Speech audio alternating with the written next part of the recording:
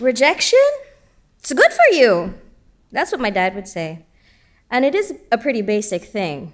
Like on my third week in the second grade, my parents patiently listened to me rant about my teacher and various schoolyard injustices.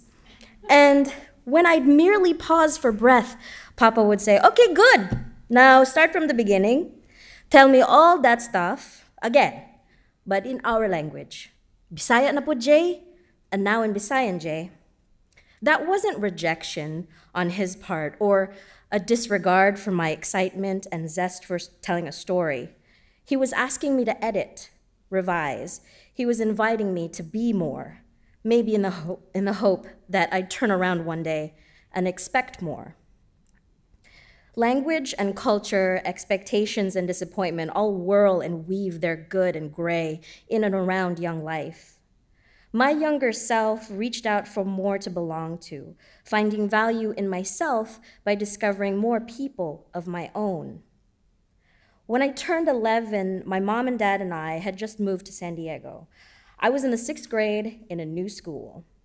I had a bright and mature outlook on life, I thought. I was nervous, curious, and serious.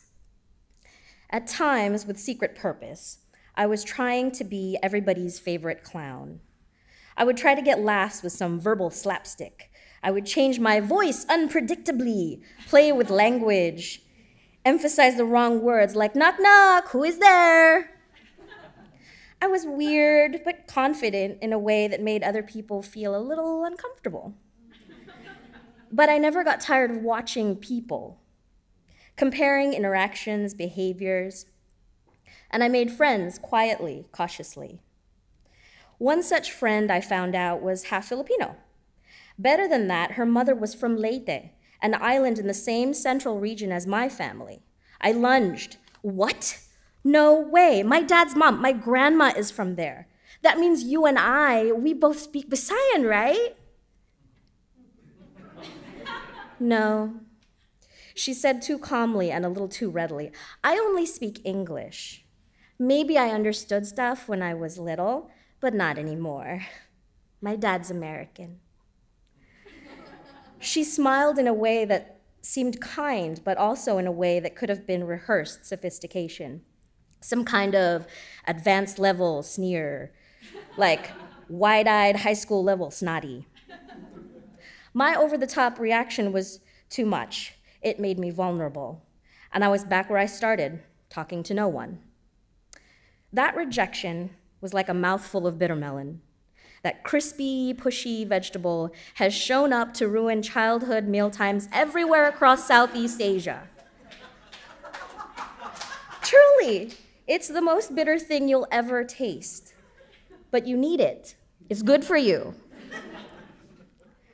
Once any morsel of it touches your tongue, there's no escape. Your mood will sharpen as you wince each molecule, molecule of you bracing and fortifying a path of protective fluids from your taste buds to your intestines. Not to be put off so easily, I kept searching for somebody who was like me, who spoke the language I spoke at home, outside of home. There were plenty Tagalog speaking Filipinos all over town, happily, openly criticizing me for not speaking fluent Tagalog. In my mind, I screamed, We're a collection of tribes. We're not just one thing. My need to be specific about language and culture came simply from the fact that I knew where I was from. I was proud to know it, but had no real peers to stand with me, proof of me. So when I'd go to the store with my parents and I'd hear someone speaking in what sounded remotely like Bisayan, not Tagalog, my ears would perk up. I'd rush to the aisle where the voices were casually hop out from behind the cheese puffs with a wink and a smile. I didn't get many casual responses back, however. In the beginning, at home, it's, not clear which language could be called my first language. In all probability, it was a fusion of Bisayan and American English. Nalibang na bakaday? Did you poo-poo today, little girl? Uy, bahuan ni uy. You so smelly, little girl. Shortly after swaddling clothes phase, my parents fell on hard times. They decided that they'd be able to work more hours to earn and build a better life in which to raise me if they were free of me temporarily. So my mom traveled away from the US with me to her mother's home in Cebu, told me she'd be right back, and didn't dare look back for a year. In that time, I celebrated my third birthday there I miraculously survived the deadly breakbone dengue fever there. I lived and spoke and fought illness with my people. So it was that language and the notion of home, identity, and family were ground up and sprinkled onto my convalescing, dreaming toddler body. In the second grade, my dad insisted that whatever conversation I had at home would be spoken in Bisayan. This was, the direct, this was in direct defiance to my first grade teacher's recommendation that I try to learn and focus on only one language so as not to confuse the girl. My parents smiled at Mrs. Previtali in a non-committal way that said, Oh, yes, yes, you are very smart. You are the teacher. As I grew older, I considered quitting my search for other groups to belong to, but how could I when that would mean I was quitting on being a more whole version of myself, a more cohesive blend of my two worlds? So I searched on.